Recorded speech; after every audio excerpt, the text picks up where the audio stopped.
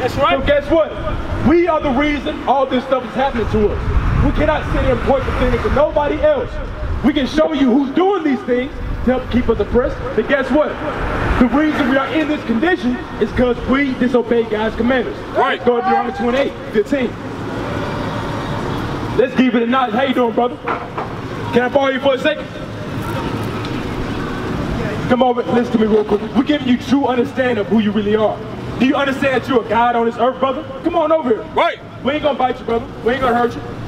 We're here for you, man. Right.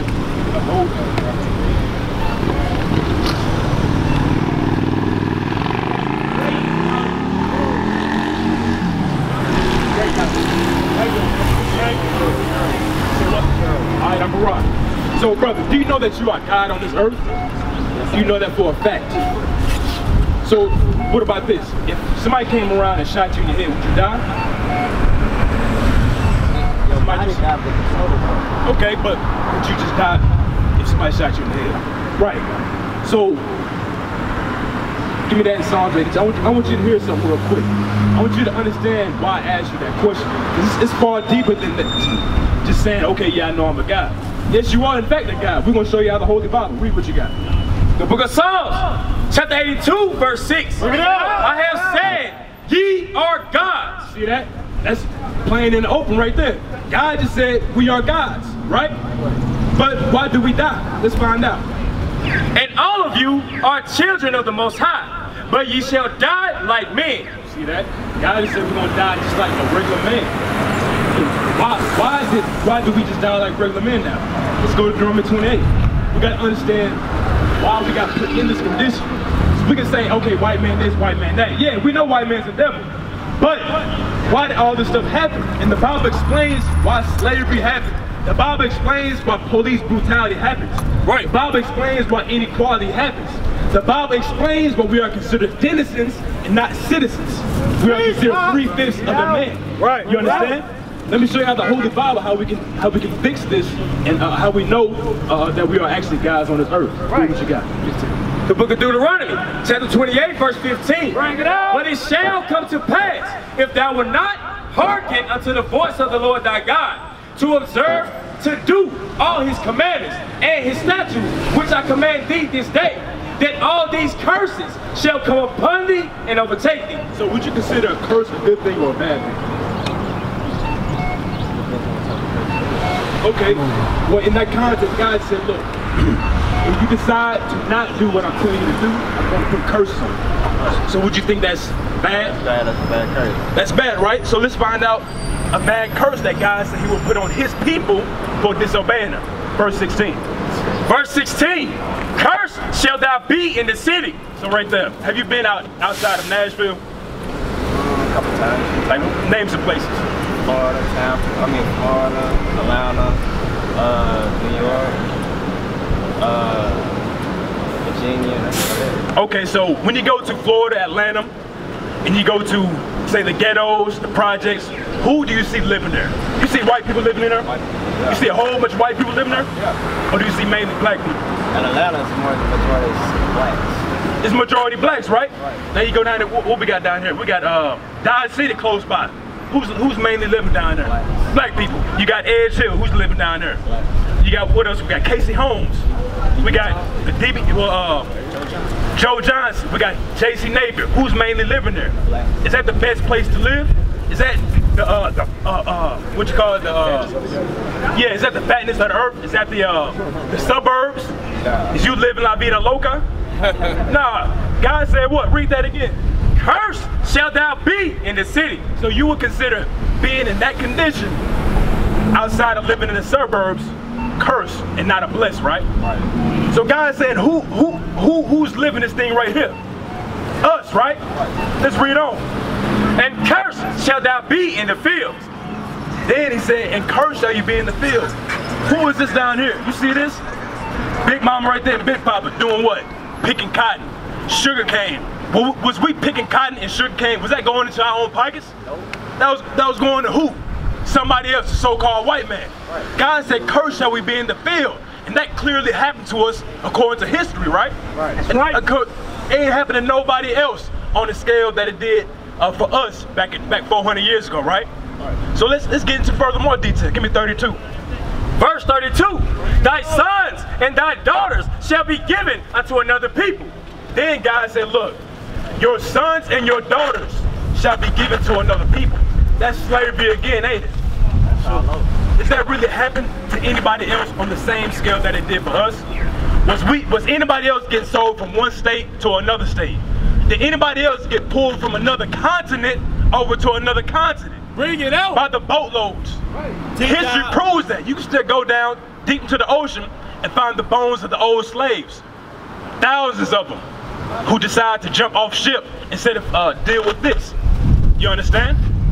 That clearly happened to our people. God said, look, for our disobedience, he was going to put these things on us. And that clearly came to pass. So guess what God has said? We are the people of this book. Right. This book ain't the white man's book. Jesus is not a white man. Right. God is not a white man. Right. God looked just like you, brother. Right. Same skin tone and everything. Jesus looked just like you. Same skin tone and everything, and I can prove it. Let's read on though. And thine eyes shall look and fail with longing for them all the day long. And we, when we seen our little kids being snatched away from us, we couldn't do nothing to stop them. All we say, Master, please. Master, please. No, he just worried about the money. He finna get a good, cool thousand dollars for your daughter. Mm. And a thousand dollars probably like a million dollars up, up in this day. You know what I'm saying? Read on. There shall be no might in thine hand. And we had no might to go back and get him. All we can do is sit there and cry. Pray to God, hoping that we can get him back. And there's nothing we can do. You understand? Now give me six days.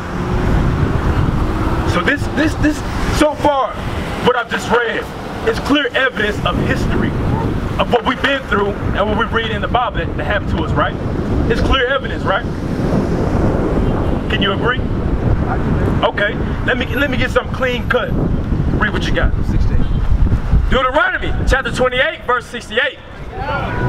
And the Lord shall bring thee into Egypt again with ships. Now, if you, if you know any etymology on the word Egypt, back in that day, it's a it's actually a Greek word translated to bondage uh-huh. or captivity. And we can show you this real quick out of the Bible. Exodus 22, real quick. Read what you got. Exodus chapter 20, verse 2. I am the Lord thy God, which have brought thee out of the land of Egypt, out of the house of bondage. See that? God has said Egypt is the house of bondage, right? So now read that again. And the Lord shall bring thee into Egypt again with ships. Now, what is another word for bondage? What is a synonym for bondage. Okay. You know, you know what, you know what it means to be bound. You don't know? Okay. So, bondage or bound, being bound is the same thing as captivity or slavery. So God's saying, look, I'm going to send you back into Egypt or slavery again. How? With ships. Who else went into slavery by way of ships? By the millions. Who else? Nobody but us. Nobody. So that's clear evidence that is directly talking about us. These people on this side, back up a little bit. These people on this side right here, brother, all went into slavery by way of ships, including the so-called Hispanic people. Right. They went into slavery on ships too. They got transported by the boatloads over to Spain, Europe, and all over. Um, and they got uh, where else? From uh, Africa, we got a lot of lot of people got uh, uh, shipping up down to South America. You know what I'm saying? But they don't they don't teach that history like they do ours. They just sweep that thing under the bricks and say we two different people. We are the same damn people. we are the right. same people, brother. You understand? Now let me prove to you. Actually, hold on. Finish this off. Then I'm gonna prove to you what your Lord and Savior really looks like. Alright? And the Lord shall bring thee into Egypt again with ships, by the way whereof I spake unto thee. Thou shalt see it no more again. And there ye shall be sold unto your enemies. Right there it said, and there, once you got out those slave ships in America, aka Babylon the Great, God said you're gonna be sold to your enemies. Right. Not to your best friends, not to your homeboys, but to your enemies. So get, what is God calling the man that we was being sold to? Bring it out. Our damn enemy. Yeah, so right. If I'm a blood and you a crip, you really ain't my enemy. If I'm a GD and you a vice lord, you really ain't my enemy. See, we are brothers. We cannot be beefing like that. We cannot be gang banging, shooting, selling drugs, doing drugs, doing all that foolishness. We got to stop that. We got to repent and come back to God's commandments. We got That's to right. act like God's. We can't just say we know God. We uh, we guys. We got to actually act like guys. You understand? Now give me that revelation real quick. 114. Yep. Sorry. So ho- hopefully you taking um, what I'm saying to you as knowledge, because it's not just no joke. We ain't out there for show. It's hot as hell. Like it's 90 something degrees. We're trying to wake up our people so we can get the hell up out of here. Because God said there's a new kingdom coming. Right. Guess who's going to be ruling? It's supposed to be us. That's that kingdom is not going anywhere. It is going to be reigning forever and ever. And if you want to be a part of it, you got to take heed to what God has written in His Bible and apply it to your life. If you in the gang, come out of the gang. Right. If you're doing drugs, stop doing drugs. Right. If you're whoring at your women, stop whoring at your women. Get a wife. Right. You understand? Read what you got. The book of Revelation, chapter 1, verse 1. Bring it out! The revelation of Jesus Christ. Revelation of who? Of Jesus Christ. So revelation means to reveal, right? So now jump down to verse 13. Verse 13. And in the midst of the seven candlesticks, one like unto the Son of Man, clothed with a garment down to the foot, and girt about the paps with a golden girdle. His head and his hairs were white like wool. You hear that, brother? Hey, you hear? You hear what they describe Jesus Christ looking like? What did it say? You, you weren't listening. Watch this. Read, read verse 13 again. Verse 13. And in the midst of the seven goats and the seven candlesticks, one like unto the Son of Man, clothed with a garment down to the foot, and girt about the paps with a golden girdle. His head and his hairs were white like wool. So who got hair like wool? Black people. That's not. Is that describing this man right here? Is it describing this man? Not at all. It's describing somebody that would look just like that, in, in a sense. Hair like wool, like a sheep. Read on. And his eyes were as a flame of fire. And his feet, And his what? and his your feet the same color the rest of your body, right? You ain't got no chameleon type feet going on there. Alright. So what, what did Christ's feet look like? and his feet like unto fine brass. What color is brass? Like a, uh, like a brown copper. Like a brownish color, right? Let's see how brown Jesus the Christ was. Read on. As if they burn in a furnace. Now you you throw anything into a furnace to an oven and you leave it there too long, what color is gonna be? It's gonna be crisp and black. That's so right. guess what? Our Lord and Savior is a dark-skinned black man. That's not right. a white man. You understand? So if our people actually knew that thing, guess what guess what they would do? They wouldn't shoot their brother. Because they say, look, okay, he looked just like Christ. He looked just like Jesus Christ. He looked just like God. Right. I wouldn't rob him. I wouldn't sell drugs to him. I wouldn't do him dirty. You understand? Give me Hosea chapter 4 and verse 1. Bring it out. Yeah. Because our people got to, like I said again, we're not out here just to uh, just to uh, be yelling and screaming at our people. We're trying to get them to actually apply change to their life. That's what that's our true purpose. Is to tell our people, look, you are God's chosen people, and God has a purpose for you on this earth. Right. You understand? Read what you got. The book of Hosea, chapter 4, verse 1. Hear the word of the Lord, ye children of Israel. For the Lord had a controversy with the inhabitants of the land, because there is no truth, nor mercy, nor knowledge of God in the land. By swearing, By doing what? swearing, They know how people love to say, I man, on God this. I put this on my mama, on my dead granny. Our people love saying that, right? But God said, look, he got a controversy with us because we're doing those things. What can I? Like the letter C. teach. Bring it out. Sounds foolish as hell, don't it? I mean, well, the, the world's so foolish, man, that it, it's difficult for even those who actually preach the word to actually see uh, what the Lord was willing to actually Got a show flyer. people, man. All right, brother. Hit us up. So. I said, uh, the world's so foolish, man. It's, it's actually difficult for the people to actually see what the Lord was actually trying to teach them. Like, Right. uh, at one point, like the Lord is progressive. So once the Lord actually comes and He sees, well, this stuff ain't happening. So it's like, you know what I'm saying? He does pull away from the people. And the truth is, the devil is so busy right now that even the devil knew he had a short time until, you know what I'm saying? The devil could actually use a person's soul to gain strength. So he actually willing to collect souls to stay alive. Like, you know, God is not uh, catering to uh, Lucifer's disobedience in heaven. Watch That this. Watch this. Get, get Hosea 5 and 15. So what you just said is clear and cut, straight out the scriptures. Read what you got. The book of Hosea, chapter 5, verse 15. Bring it out. I will go and return to my place till they acknowledge their offense. See that? That is clear and cut out the scriptures. God said, look, I'm gonna back back and let Satan destroy your whole life till you turn back to me. Right. You obey my commandments. Do you understand who you are and what's your purpose? God ain't gonna defend us unless we obey his commandments. You understand? Uh, finish in Jude 5. Read on. And seek my face. And do what?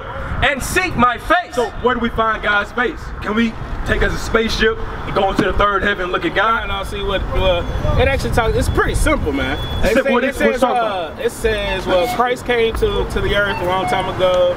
You know, he separated uh, sin from mankind, and uh, So, you know, he did all that. simple. So when he returns, he's gonna come, and you gotta explain him. You say he got kind of like wood, Right. It's white, Right. And it's like when you gonna see his face, like talking is one thing. It sounds good. Don't get me wrong. It sounds Right. like you really trying to expose to the people, you know, the truth about God. Like he ain't white, he's black.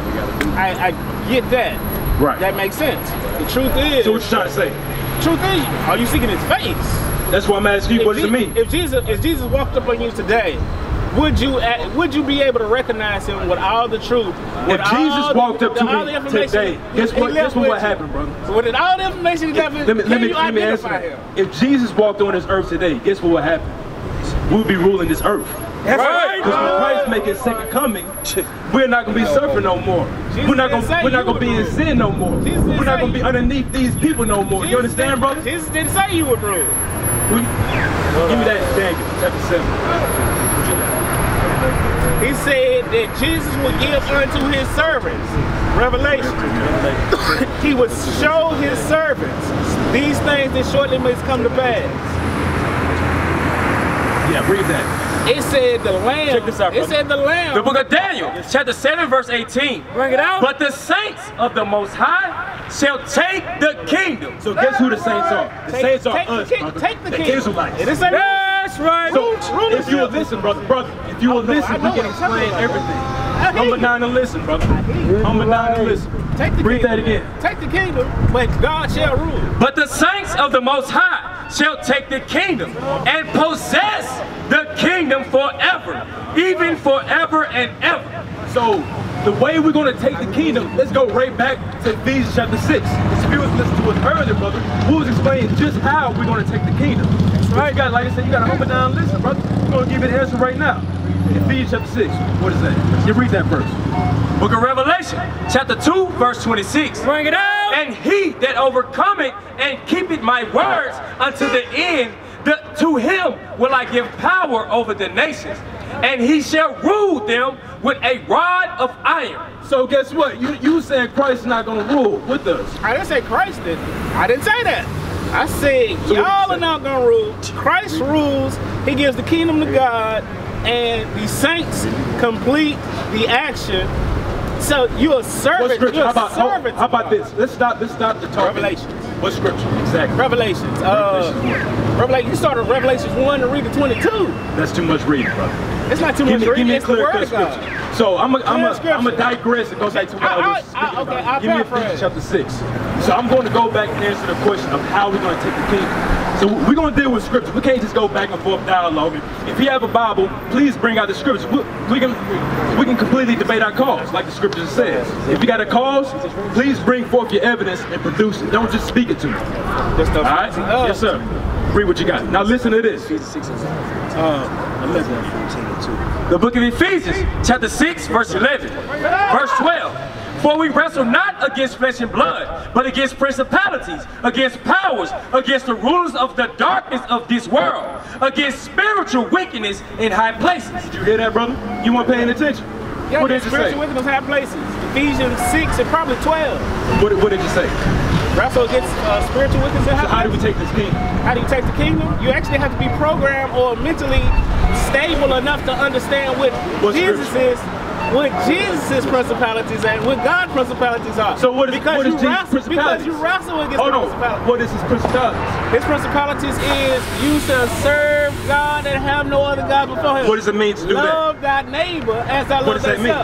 Even as, and even, Hold on, brother. even as- Hold on, hold on. Time you. out, brother. Time out. I'm telling you. You're telling me, but you're not producing any scripture. So I'm gonna pause you and explain what you just said. You said, hold on, You brother. Hold on, brother. Hold on. You on that platform, let us dialogue properly. Let's not speak over one another. So you just said you gotta serve the Lord thy God with all your heart and all your soul, right? Give me Deuteronomy 10 and 12.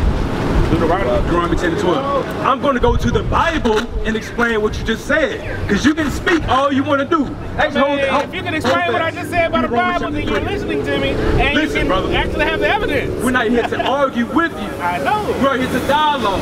So listen while we bring out the scriptures, brother. It's simple as that. We're not trying. I'm not trying to come at you. I'm not trying to prove I got more knowledge you. Whatever. We can dialogue properly over the scriptures. So when I'm reading the Bible, you should be listening, paying attention. Right? Right. Uh, so you, I mean, you stay focused towards God. Read what you got. and- and Romans 3 you already know what it is, brother. You've been over for a long time. The book of Romans, chapter 3, verse 1. What advantage then hath the Jew? Verse 3. For what if some did not believe? Shall their unbelief make the faith of God without effect? God forbid. Yea, let God be true. Now let me be true. Let God be true. Let you be true. Let God be true. And every man what? But every man a liar. Guess what, brother? When you are not bringing scriptures to give evidence to your cause, guess what you are? You're a liar. That's what the Bible just said. I'm not doing that to knock you down. That's what the Bible just said. That's why I'm going to be able to go to you and speak scriptures to you, brother. You understand? So ask what it is. You understand, brother? It makes sense though. I hear man. All right. Yeah. Should now go back to it. A liar. That's kind of what he said. Deuteronomy 10 and 12. Deuteronomy chapter 10, verse 12. And now, Israel, what doth the Lord thy God require of thee? But to fear the Lord thy God. So remember, you, I asked you, how do we Follow instructions. how do we really, What is Makes is the principalities, right? What's the principalities? So read that again. but to fear the Lord thy God.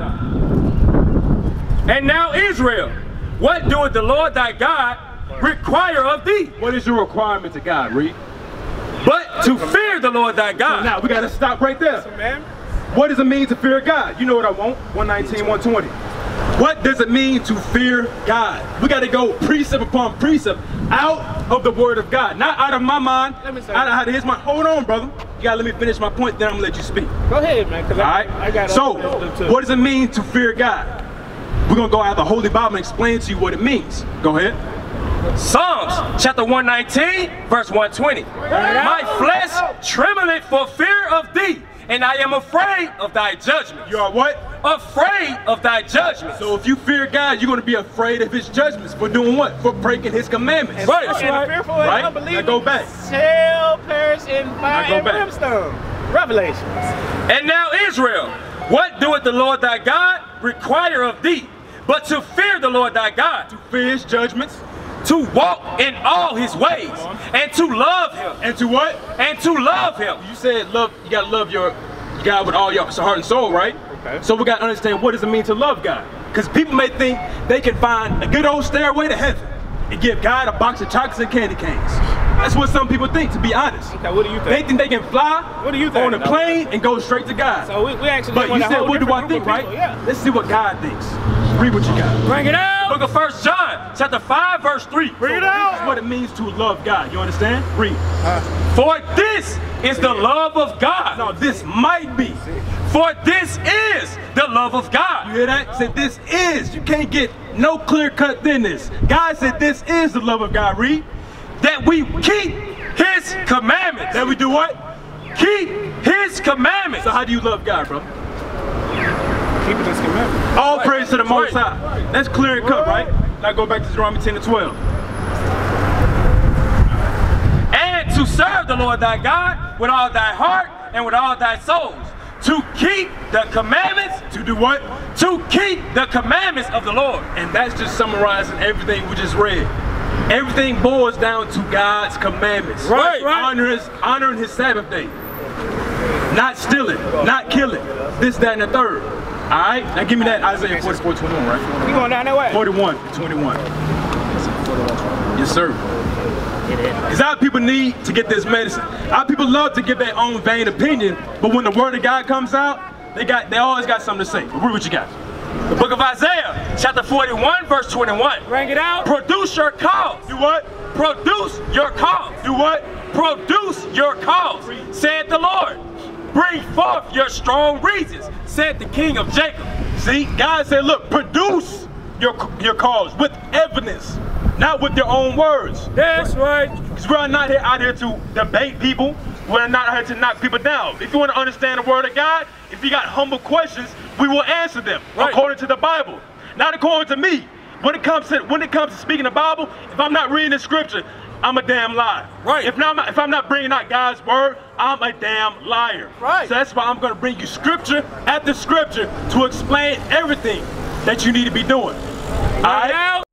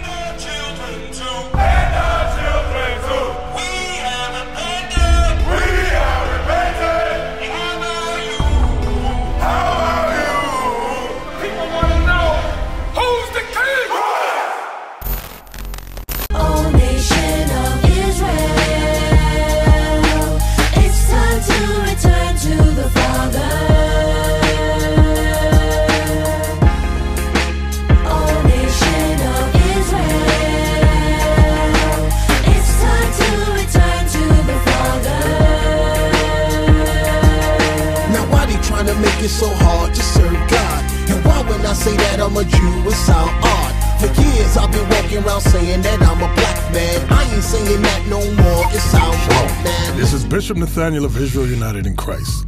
Please subscribe to our YouTube channels. Stay up to date with our latest events, music, and classroom lessons.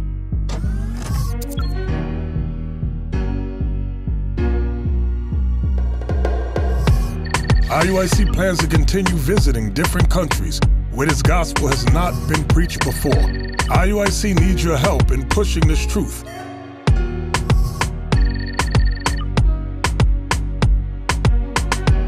So join us. Subscribe to our Instagram, Facebook, Twitter, and podcast and stay up to date with us.